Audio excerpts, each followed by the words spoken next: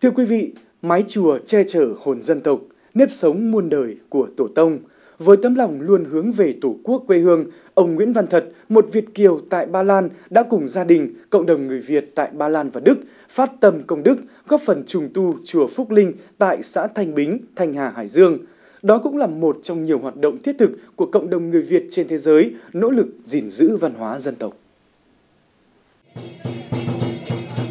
Sáng ngày 4 tháng 10 năm 2015, tức ngày 22 tháng 8 năm Ất Mùi, đông đảo bà con Phật tử và người dân đã có mặt từ rất sớm, chuẩn bị cho lễ khánh thành tam quan và gác chuông tại chùa Phúc Linh ở xã Thanh Bính, Thanh Hà, Hải Dương. Sinh sống tại Ba Lan, ông Nguyễn Văn Thật đã cùng cộng đồng người Việt phát tâm làm một đại hồng chung quả chuông lớn, trợ vốn xây tam quan và tháp chuông. Lễ khánh thành với ông là giây phút thiêng liêng hướng về dòng tộc và quê hương. Tôi đã vận ờ, động thêm những người trong gia đình, những người bạn bè từ Ba Lan, từ Đức. Anh em cũng đã quyên góp trở về để cùng nhau với cơ quan chính quyền địa phương, bà con Phật tử xây dựng ờ, tam quan và tháp chuông. Chùa Phúc Linh nằm trong khuôn viên đền Tử Hạ, được công nhận di tích lịch sử cấp quốc gia của Việt Nam ngày 19 tháng 1 năm 2001.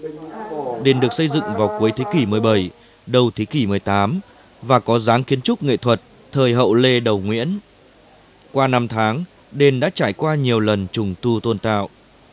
Khởi công ngày 19 tháng 6 năm 2015, cổng Tam Quan, gác chuông được trợ vốn xây dựng bởi Võ đường Việt Nam Vĩnh Xuân Quyền, Hà Nội, người dân xã Thanh Bính và các Phật tử.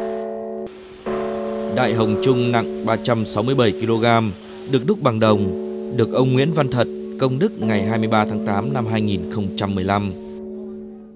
Tôi rất là hạnh phúc và ờ, hân hoan rằng một ngày rất đẹp và rất đầy đủ tất cả các ờ, đoàn thể bà con Phật tử của quê hương của mọi miền về đây dự cái buổi lễ khánh thành tháp chuông và ừ, cuộc tham quan này hôm nay. Cộng đồng người Việt Ba Lan là một cái cộng đồng mà rất là gắn bó với lại quê hương đất nước, luôn luôn hướng về quê hương đất nước.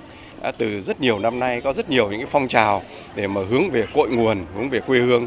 Cái trường hợp hôm nay, trường hợp với lại ông Nguyễn Văn Thật đã về ờ, để mà cung đức, để mà cung tiến xây dựng cái, như là cái tháp chuông và cái ờ, ờ, chuông mà hôm nay chúng ta dự lễ khánh thành. Thực sự nó là một cái đóng góp chúng tôi nghĩ rằng là rất là thiết thực và đó nó cũng thể hiện cái tấm lòng của gia đình anh Thật nói riêng cũng như là của cộng đồng người Việt Nam ở Ba Lan nói chung đối với lại đất nước Việt Nam cũng như là đối với lại quê hương của mình